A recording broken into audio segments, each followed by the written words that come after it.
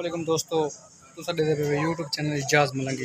दोस्तों, आज मैं मैंने अपने शादी थे शादी थे फ़ंक्शन है, बड़ा कमाल हो तो दिखे वीडियो के नाल में जुड़ते रहा।